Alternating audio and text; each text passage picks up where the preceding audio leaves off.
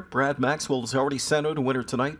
Clicked earlier with Randy Waples, and we'll see if they can join forces and win here. Must overcome a difficult starting spot with Damn Fool or Millionaire. It's post time for race five.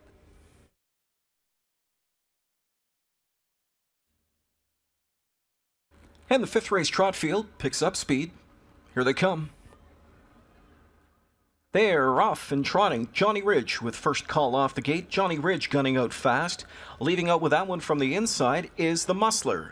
Also up into the mix comes Majestic Ginger. She's through between horses. Hitch and Ride is up into fourth. Outside fifth is Random Margin, splitting through sixth home turf. Cod Wide seventh, Damn Fool or Millionaire. Then further back to Esnon Illa Dulcis. Coming away second from last, I Like My Caddy, Sweet Land of Liberty, trailing at a quarter of 27 and 4. And it's Majestic Ginger into the first turn and into the backstretch, who's up to take over the lead now. Johnny Ridge is back in second. Sitting along from in third is the Musler. Off stride, Durand lost Hitch and a Ride. Hitch and a Ride exploded in the second quarter and is trailing the field as a result. So they move by three eighths and head to the half, and it's Majestic Ginger, the lead two lengths for her. Johnny Ridge pocket riding, three lengths back the Musler, third, fourth in at the rail is Random Margin. Henriksen with a tough trip here for home turf, fifth outside to a 56 and 3 opening half.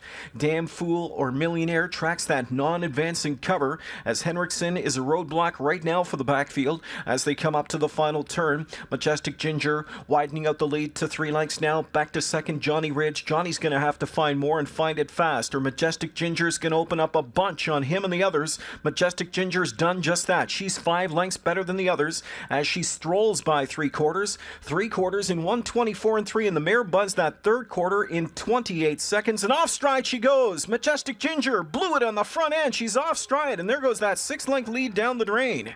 Wide open now. The Musler's coming on for Jones. Rushing up on the far outside. Here comes Damn Fool or Millionaire, and from way back, I like my caddy. But to the front is the Musler in deep stretch. The Musler is clear by three. Late speed comes from I like my caddy. The Musler, a 17 to 1 stunner. Second was I like my caddy. Damn Fool or Millionaire third. Random margin finished fourth.